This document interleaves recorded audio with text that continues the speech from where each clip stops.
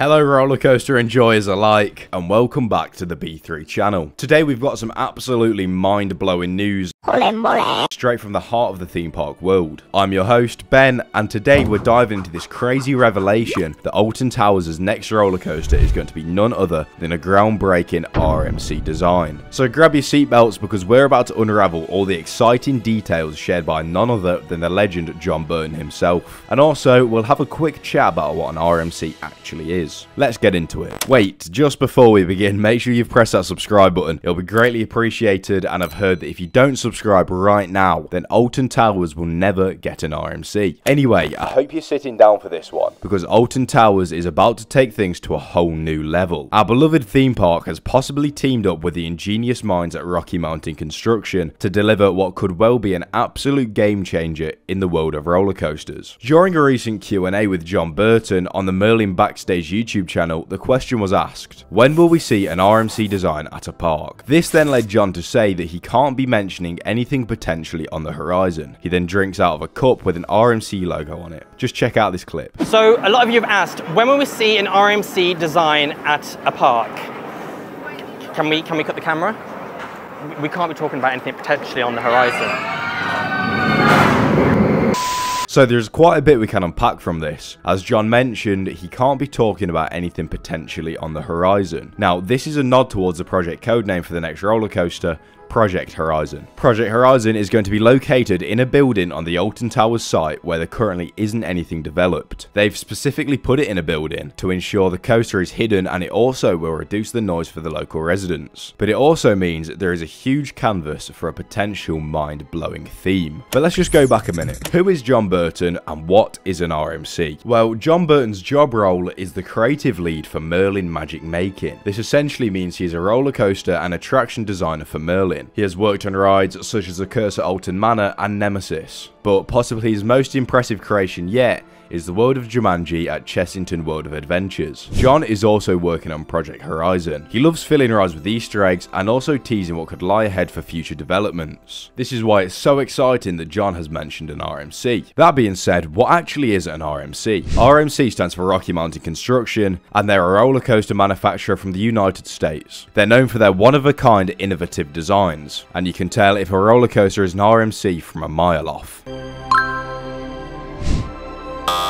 They sometimes transform old wooden roller coasters into more exciting hybrid roller coasters. This involves both wooden structure and steel components such as the track to make it a hybrid roller coaster. This then gives them room to add elements such as inversions which would previously have been impossible. RMC roller coasters are well known for their one-of-a-kind hybrid design, innovative world's first elements, smoothness, intense airtime, reimagining existing coasters, customization and variety. The customization aspect of RMC is very important. They can design their coasters to fit in almost any space given to them, and they will always meet the specification given by the park. RMC currently only have a few roller coaster types, and another one has just been announced which could fit Alton Towers' needs perfectly. They currently have the most popular design, being the iBox track, which are on coasters such as Iron Gwazi and Steel Vengeance. They also have a design known as a topper track. This specific design essentially means most components on the roller coaster are still wooden. However, the top of the rails are made out of steel, hence the fact it's called a topper track. They've also expanded into the family throw category with single rail coasters,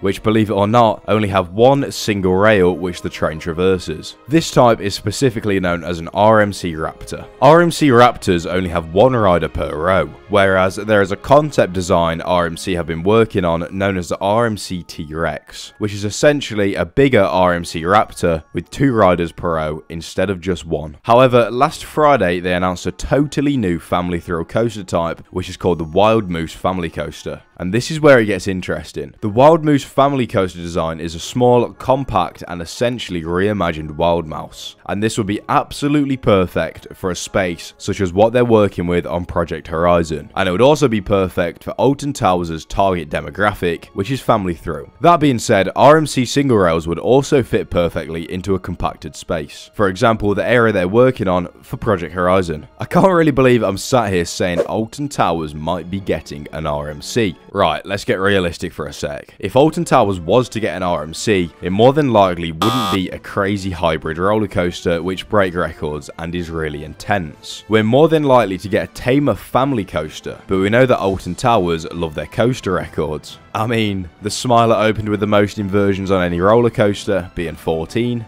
Wicker Man is the world's first coaster to feature wood and fire. Rita opened as the fastest accelerating coaster in the whole of Europe.